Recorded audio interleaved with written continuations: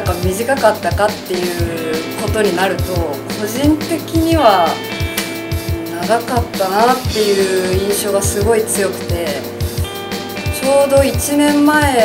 の6月にボーダーのみんなと出会って楽器を誰かと演奏するっていうのがもう小学校中学校の音楽の授業以来っていうので初めシンセサイザーをやってるんですけどもう何をやってるのかわからないっていうぐらい結構個人的にはすごい大変だったんですけどいざライブってなるとすごい楽しいなっていうのしかなくて駆け抜けた1年っていう感じでもともとその歌をやってる方が長かったのでこれからの年はちょっとずつ歌もできるようになって演奏にも余裕がもうちょっと練習とかしてできるようになってもっといろんなことをこう考えられるようになる2年目にしていきたいなと思います。2年目もよろしくお願いします。そうですね。1年前にもうボーダーの皆さんと出会ってバンド活動を始めたんですけどうちも長崎に来て間もなかったので、まあ、見知らぬ土地でいろいろ不安を抱えながらの活動だったんですが本当に長崎に来てからも1年半ちょっといいことも悪いこともいっぱいあったんですけどその中でいろんな思い出がボーダーの音楽とかと一緒にリンクしてその曲を聴くともうあの時のことや感情や匂い映像が全部蘇ってくるようなそんな私にとって大事な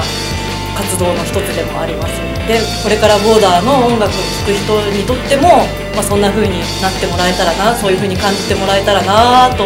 思ってこれからの活動につなげていきたいと思います、まあ、そんなわけでこれからも長崎でお会いしましょう。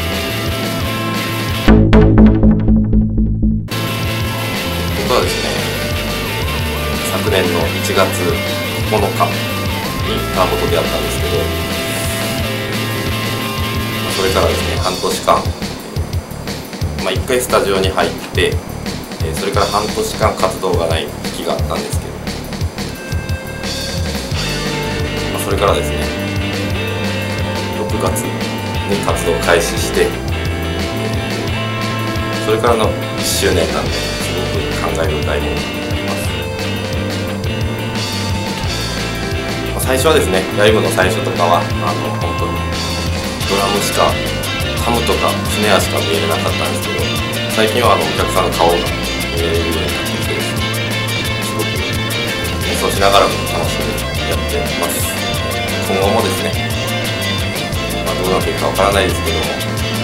ボーダーのみんなと一緒に演奏を続けていきたいと思っております1年ですか早いですね。いや1年って感じしないですけどね。なんかもう5年ぐらい一緒にやってるようななんかそんな感じですね。なんかね僕の中でもなんか人生まあ人生の中ですけどこんなになんかこう昨日のことのようにねもう1年は、まあ、あっという間っていう感じで、うん、結構ね寿命縮まったぐらいですね、まあ、それぐらいなんかもう